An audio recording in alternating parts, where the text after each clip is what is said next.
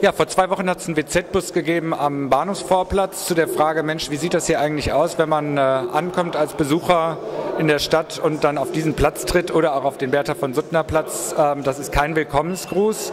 Die äh, Stadt hatte mal Pläne, Wettbewerbe gemacht zur Ausschreibung zum Verbessern des Platzes und hat jetzt verkündet, dass vor 2015 nichts passiert kein Umbau, keine Verbesserung. Wir haben deshalb beantragt, dass wenigstens Hinweisschilder, Sauberkeit und ordentliche Beleuchtung an den beiden Empfangstoren Düsseldorfs passiert. Ich bin gespannt, wie gleich die Abstimmung ausgeht, obwohl CDU, FDP schon signalisiert haben, dass sie meinen, das muss jetzt nicht sein. Schade.